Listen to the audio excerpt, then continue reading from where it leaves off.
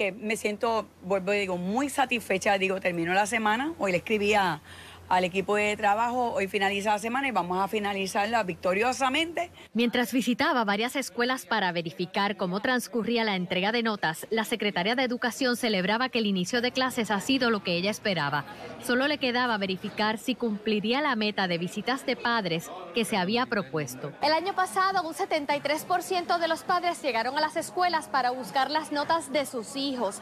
Este año, la secretaria espera superar ese número en un 10%. El año pasado eh, nos llegaba como un 29% de la participación. En octubre estuvimos en un 73%. Yo me puse como límite, eh, ¿verdad? Le pedí al equipo de trabajo un 10%, o sea, trabajar para seguir aumentando ese 10%. En la Superior Trinidad Padilla, a las 10 de la mañana no habían llegado tantos padres, pero todo corría con mucha organización. Sin embargo, en la elemental Julio Sellés Solé, ya a las 9 de la mañana una gran cantidad de padres había ido a buscar las notas y dijeron estar satisfechos con el servicio y la información brindada. Muy interesante, pues así sabemos pues cómo van nuestros hijos y pues el seguimiento que hay que darle. Y yo veo unas notas bien buenas. Sí, sí, todas. ¿Estás contento? Sí. ¿Cómo se llama la nena? Mildred. Mildred, ¿estás contenta? ¿Por qué?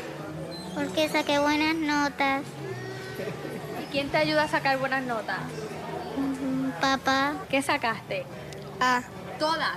Sí. Ha sido un proceso muy bueno, todos los años se preparan los maestros, las oficinas. Pero no todos los estudiantes son tan aplicados como estos niños.